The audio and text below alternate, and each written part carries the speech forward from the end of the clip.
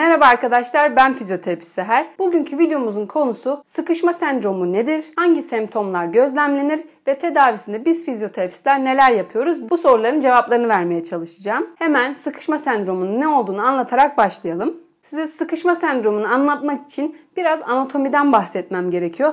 Dolayısıyla görseller üzerinden anlatarak bahsetmem çok daha basit olacak. Aslında işin anatomisinden bahsetmek maalesef çok da basit değil. Ama genel olarak bu hastalığı tanımlayabilmek için omuz eklemini oluşturan yapıları bilmemiz gerekiyor.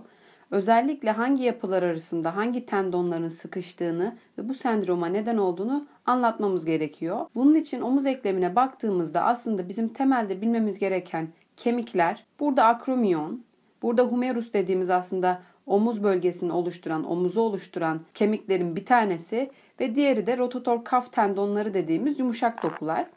Bu şekilde bir dizilimde omuz bölgesinde eğer çoklu baş üzeri aktivite yapılıyorsa ya da o bölgede az sonra anlatacağım semptomları oluşturacak başka nedenler varsa burada akromiyanın altında subakromiyal boşluk dediğimiz yani bu kemiğin altında kalan alanda diyeyim herhangi bir sıkışma meydana gelebiliyor.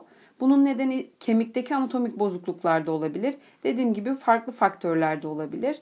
Bu bozukluk sonucunda o bölgede baş üzeri aktivitelerde yani kolumuzu 90 derecenin üzerine kaldırdığımızda genellikle o akromion dediğimiz kemiksi çıkıntının altında humerus başının üzerine tutunan tendonlar sıkışıyor. Tendonların sıkışmasıyla birlikte maalesef istemediğimiz semptomlar oluşuyor.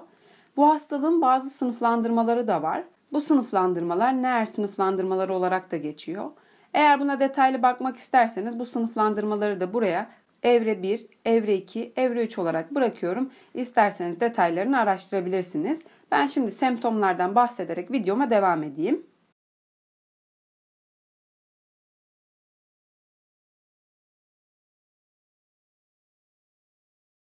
Şimdi semptomlarından bahsedelim. Semptomlarına baktığımızda özellikle bu sıkışmanın gerçekleştiği bölgede yani omuzun Ön ve hafif dış bölümünde şiddetli ağrıyla gelir genellikle hastalar ve baş üzeri aktiviteleri yapmaya çalıştıklarında özellikle o bölgede batma, hatta erken dönemde yanma bu bölgedeki temel semptomların başında gelir. Ne zaman ki günlük yaşam aktivitelerinde kısıtlanma başladı, yani özellikle omuzla ilgili yapılacak işlerde limitasyon başladı, o zaman hasta genellikle doktora başvurmayı tercih eder. Çok uzun süre beklemiş vakalarda maalesef kas kuvvet kayıpları gerçekleşir yani ağrıya bağlı olarak hareket etmek istemeyişinden genellikle kişiler diğer kollarını ya da diğer ekstremitelerini kullanırlar. Dolayısıyla bu bölgede genel bir kas kuvvet kaybı da beklediğimiz semptomlar arasında. Doktora danıştığınızda doktor isterse her zaman olduğu gibi bu tanı koyma aşamasından bahsetmeyeceğim. Ama yine radyolojik olarak da tanı koyma yöntemlerini tercih edebilir. Onun dışında yapılabilecek bazı testler var. Bu testlerinizi doktorunuz fiziki muayene sırasında uygulayıp yine tanının güçlendirilmesi açısından da bu testlerden faydalanabilir. Peki tedavi Tedavisinde nelerden faydalanırız? Tedavisinde aktif inflamasyon dönemindeyseniz yani az önceki anlattığım en başta anlattığım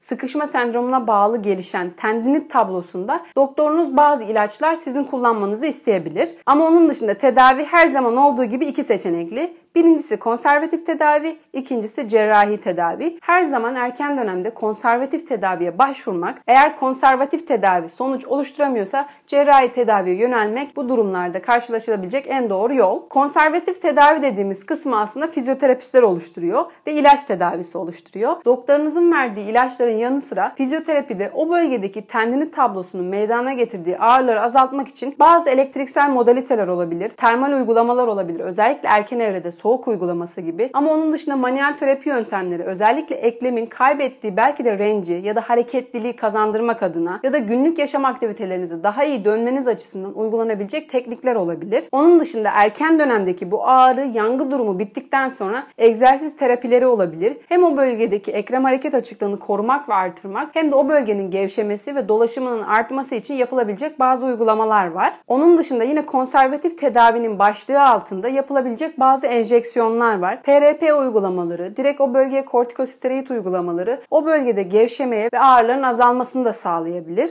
Dediğim gibi son aşama cerrahi aşama. Eğer sıkışmaya neden olabilecek anatomik bir problem varsa o bölgedeki bu anatominin düzeltilmesi ya da sıkışma sendromunda konservatif yanıt alınamadığı durumlarda o bölge bölgenin cerrahi olarak düzenlenmesi yine tedavi seçeneklerinden bir tanesi olmuş oluyor. Evet arkadaşlar bugünkü videomda özellikle sıkışma sendromu nedir, hangi semptomlar gözlemlenir ve tedavisinde nelerden faydalanırız anlatmak istedim. Eğer herhangi bir soru, görüş ya da öneriniz varsa ya direkt bana yorumlar kısmından ya da Instagram adresimi buraya bırakıyorum. Instagram üzerinden oluşturabilirsiniz. Diğer videolarda görüşmek üzere.